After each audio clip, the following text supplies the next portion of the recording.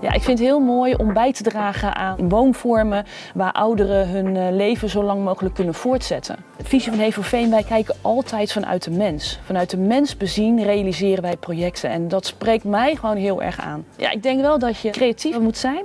We geven ook bijvoorbeeld workshops, dus het is ook wel fijn als je wat kan presenteren, maar dat kan je natuurlijk ook leren. En ook het samenwerkingsgericht eh, met de organisatie om dat samen te doen. Dat vind ik zelf heel erg belangrijk, eh, dus daar kijken we denk ik ook wel naar. Ja, ik ben nu in Zwolle en ik kom hier één of twee keer in de week. Ik vind het gewoon leuk om mijn collega's te zien, even lekker een bakje koffie met elkaar te drinken, maar ook om de projecten door te spreken. Want je hebt soms wel eens vragen die je toch makkelijker eh, even face-to-face doet als dat je dat via Teams doet. Ik kom ook al in de bos. Leuke stad ook. En ja, dan ben ik ook gewoon met collega's projecten aan het doornemen. En ja, het is ook gewoon goed om daar te zijn. Ja, ik vind Hevo gewoon een fantastisch bedrijf omdat ze een hele mooie visie hebben waar ik aan bij wil dragen.